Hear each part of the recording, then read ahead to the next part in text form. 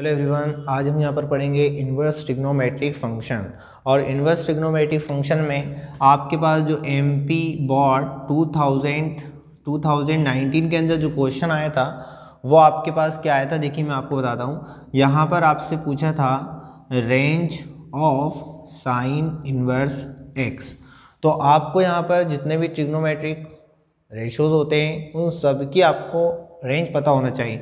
Sign inverse x की जो range होती है, वो आपको हम बता दें साइन इनवर्स एक्स की जो रेंज होती है, वो pi by two minus pi by two से पाई बाय टू के बीच में होना चाहिए या माइनस पाई बाय टू होना चाहिए। देखिए, इस ब्रैकेट का मतलब होता है कि आपके पास यहाँ पर जो रेंज है, वो हमारे पास माइनस पाई बाय टू हो सकती है और प्लस पाई बाय टू भी हो सकती है। मतलब इसका मतलब है पाई बाय टू का 90 डिग्री और इसका मतलब है प्लस 90 डिग्री मतलब 90 डिग्री को भी आप एक्स की वैल्यू यहाँ पर बोल सकते हो. इसका एंगल माइनस नाइन्टी डिग्री भी हो सकता है और उसके बीच में 90 से माइनस नाइन्टी के बीच में जो आता है, जैसे कि हमारे पास माइनस सिक्सटी आ गया माइनस थर्टी आ गया माइनस फोर्टी फाइव आ गया, या फिर हमारे पास प्लस में थर्टी आ गया तो टोटली मिला के माइनस पाई बाय टू से पाई बाय टू के बीच में या माइनस पाई बाय टू भी हो सकती है.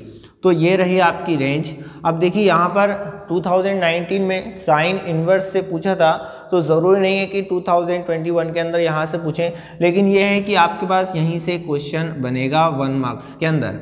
तो देखिए, यहाँ पर अगर हम बात करें कॉस इन्वर्स देखिए में साइन का जो उल्टा होता है साइन का जो भाई होता है, वो होता है कॉसेक इन्वर्स एक्स तो कॉसेक इन्वर्स एक्स में क्या है कि इसकी जो रेंज होती है माइनस पाई बाय टू से प्लस पाई बाय टू के बीच में और साथ में माइनस पाई बाय टू और प्लस पाई बाय टू भी हो सकती है। ठीक है, उसके बाद देखिएगा यहाँ पर एक्सेप्शन किसका होता है? यहाँ पर होता है आपके पास ज़ीरो का, यानी कि आपके पास ज़ीरो नहीं होना चाहिए। ठीक है तो एक्स की वैल्यू क्या होना चाहिए? माइनस पाई बाय टू भी हो सकती है और पाई बाय टू भी हो सकती है और इसके बीच में जितने एंगल आ रहे हैं, सारी वैल्यूज़ को आप यहाँ पर लिख सकते हो।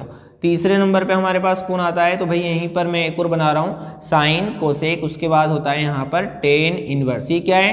तीनों जो हैं मिलते जुलते हैं तो आप ध्यान रखिएगा। यहाँ पर आपके पास क्या होता है? ऐसा ब्रैकेट आता है, इसको ओपन ब्रैकेट बोलते हैं। और इसका मतलब होता है कि टेन इनवर्स है, टेन इनवर्स एक्स तो इसकी रेंज क्या होगी? माइनस पाई बाय टू से प्लस पाई बाय टू के बीच में। माइनस पाई बाय टू से प्लस पाई बाई टू के बीच में होगी। तो चलिए हम यहाँ पर इसके बेस पे क्वेश्चन करते हैं और आगे आपको यहाँ पर मैं और बता ही देता हूँ। फोर्थ नंबर पे हमारे पास यदि साइन के बाद हम लेते हैं कॉस इनवर्स एक्स तो इसकी रेंज क्या होना चाहिए? तो इसकी रेंज होती है ज़ीरो से पाई के बीच में, या ज़ीरो भी हो सकती है और पाई भी हो सकती है। क्योंकि यहाँ पर जो ब्रैकेट लगा है, ये बड़ा बड़ा वाला ब्रैकेट लगा है, इसलिए यहाँ पर आप इसको समझ जाइए। ठीक है फिफ्थ नंबर पे हमारे पास कोस का उल्टा होता है सेक इनवर्स एक्स कोसेक का कोस का उल्टा सेक इनवर्स ही होता है। तो यहाँ पर आपके पास ज़ीरो से पाई के बीच में होना चाहिए और ज़ीरो भी ले सकते हो पाई भी ले सकते हो बट यहाँ पर आप क्या नहीं ले सकते? तो आप यहाँ पर पाई बाय टू नहीं ले सकते। इसकी वैल्यू सेक इनवर्स एक्स जब होगा और आपसे प्रिंसिपल वैल्यू निकालने को क्वेश्चन आएगा तो उसमें आपके पास वैल्यू क्या नहीं हो सकती?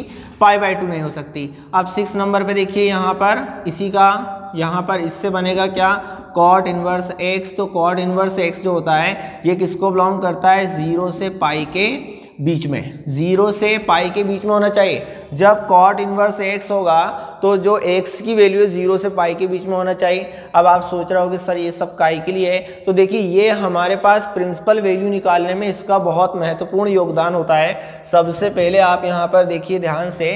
ओनली आप याद रखिए कि साइन इनवर्स एक्स की रेंज क्या होती है? तो साइन इनवर्स एक्स की range minus pi by two हो सकती है और साथ में प्लस पाई बाई टू भी, और इन दोनों के बीच में जितने एंगल आते हैं, वो हमारे पास वैल्यू होगी। तो देखिए, आज का जो 2.1 है, उसमें आपसे पूछा है क्या? Principal value. Principal value of, principal value of sine inverse और यहाँ पर आपको दिया है माइनस में वन बाई टू देखिए क्वेश्चन बहुत सिंपल है। आपको हंड्रेड परसेंट गारंटी ले रहा हूँ मैं। या तो आपसे ये फॉर्मूले पूछेंगे वन मार्क्स के अंदर, या फिर आपसे यहाँ पर वैल्यू दी जाएगी। जो भी आपको एंगल दें, उसका आपको क्या निकालना है? प्रिंसिपल वैल्यू अब यहाँ पर प्रिंसिपल वैल्यू इसकी निकालना है। सबसे पहला काम ये होगा कि हम इसको लेट कर लें। Sine inverse minus one upon two को हम लेट कर रहे हैं, क्या? वाई लेट कर लें या थीटा जो भी आपको लेट करना है। ठीक है? तो हमें यहाँ पर sine inverse minus one upon two है मतलब हमें वाई की वैल्यू निकालना है, ये कितने डिग्री की वैल्यू है, समझ गए ना? तो साइन इनवर्स को इधर लेके जाएँगे, माइनस का वन अपॉइंट टू, इस साइन को इधर लेके जाएँगे तो ये हो जाएगा साइन वाई और अब आपके पास या इसको हम ऐसा लिख सकते हैं, sine y is equal to minus में वन अपॉइंट टू अब आप ये देखेंगे, जो वन अपॉइंट टू है, वो साइन कितने डिग्री की वैल्यू है? तो sine thirty degree is equal to one upon two होता है। अगर हम इसको पाई की फॉर्म में देखें तो ये पाई बाय सिक्स की वैल्यू है, जो कि वन अपॉइंट टू होगी। क्लियर तो यहाँ पर देखिए, हमारे पास क्या हो जाएगा? Sine y is equal to इस वन अपॉइंट टू की जगह पे मैं लिख सकता हूँ कितना? Pi by six. अब यहाँ पर मेरे पास जो माइनस होता है तो वो कहाँ चले जाता है? देखिए, माइनस साइन थीटा अगर हम देखें तो आपने टेंथ क्लास में, इलेवन में पढ़ा होगा, sine minus theta is equal to minus sine theta होता है। तो जो मेरे पास माइनस है, sine y is equal to, ये हो जाएगा साइन माइनस में पाई बाय सिक्स। अब आपको ये ध्यान में रखना है, वी नो दैट हम जानते हैं range of sine inverse x sine inverse x की जो रेंज होती है, वो हमारे पास क्या होती है? मैंने अभी आपको बताया था।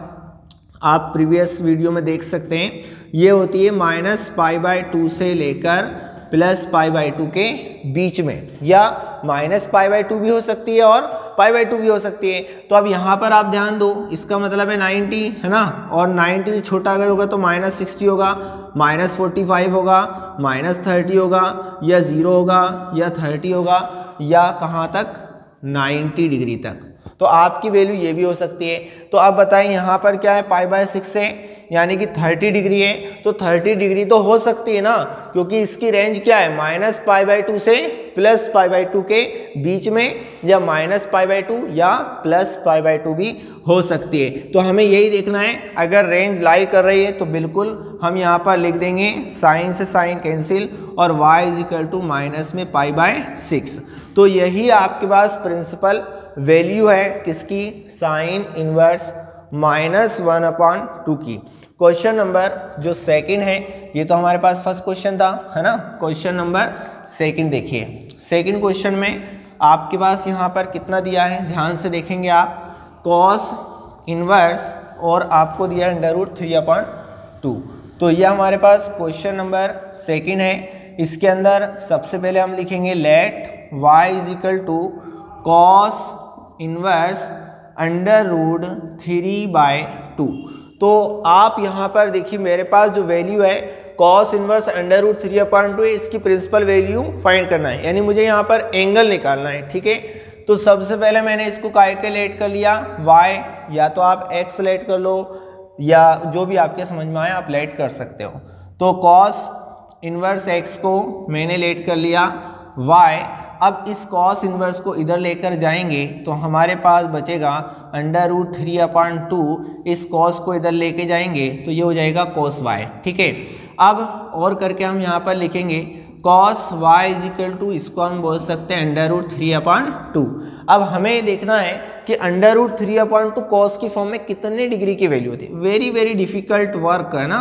यहाँ पर आपको पता होना चाहिए कॉस थर्टी डिग्री की value under root three upon two होती है। तो cos y is equal to इसकी जगह पे कॉस 30 डिग्री लिख दूँगा। अब 30 डिग्री को हम यहाँ पर क्या बोलते हैं? तो इसी को हम बोलते हैं पाई बाय सिक्स ठीक है? Under root three upon two pi की वैल्यू 180 होती है बिकॉज़ आपको पता होगा, अगर 180 डिग्री रखें तो ये पाई अपॉन जो सिक्स है सिक्स थ्री या एट्टीन यानी कि कितना हो जाएगा? 30 डिग्री हो जाएगा। तो कॉस से कॉस कैंसिल और वाई इज़ इक्वल टू कितना आ गया? 30 डिग्री आ गया। और इसी 30 डिग्री को हम लिख सकते हैं pi upon pi upon six.